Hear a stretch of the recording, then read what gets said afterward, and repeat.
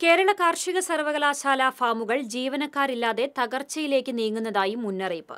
സർക്കാർ അടിയന്തരമായി ഇടപെട്ട് പരിഹാരം കാണണമെന്ന് എംപ്ലോയീസ് അസോസിയേഷൻ ആവശ്യപ്പെട്ടു.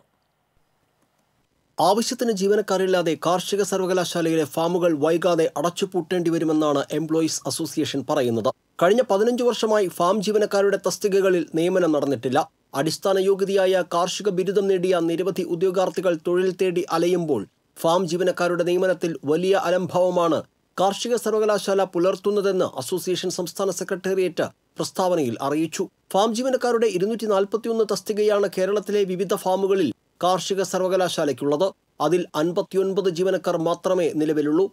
നിലവിൽ ദിവസവേതനക്കാരെ വെച്ച് പ്രവർത്തിക്കുന്ന ഫാമുകളുടെ പ്രവർത്തനം അവതാളത്തിലാണ്. ഈ നില തുടർന്നാൽ അടുത്ത വർഷത്തോടെ ഫാമുകൾ അടച്ചുപൂട്ടേണ്ടി വരുമെന്നാണ് അസോസിയേഷന്റെ മുന്നറിയിപ്പ്. ഫാം ജീവനക്കാരുടെ നിയമനം അടിയന്തരമായി നടത്തുന്നതിൽ വലിയ വീഴ്ചയും അലംഭാവവുമാണ് സർവകലാശാല അധികാരികൾ തുടരുന്നത്.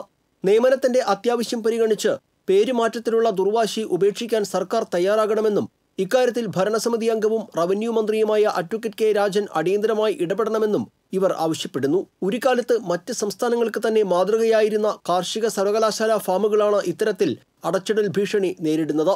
കേരളത്തിലെ കർഷകർക്ക് മാതൃകയും മാർഗനിർദ്ദേശവും നൽകേണ്ട കാർഷിക സർവകലാശാല ഫാമുകളുടെ പ്രവർത്തനം അവതാളത്തിലായതോടെ കേരളത്തിന്റെ കർഷക ഭാവി തന്നെ അവതാളത്തിലാകുമെന്ന ആശങ്ക നിലനിൽക്കുകയാണ്. T C V Thrissur.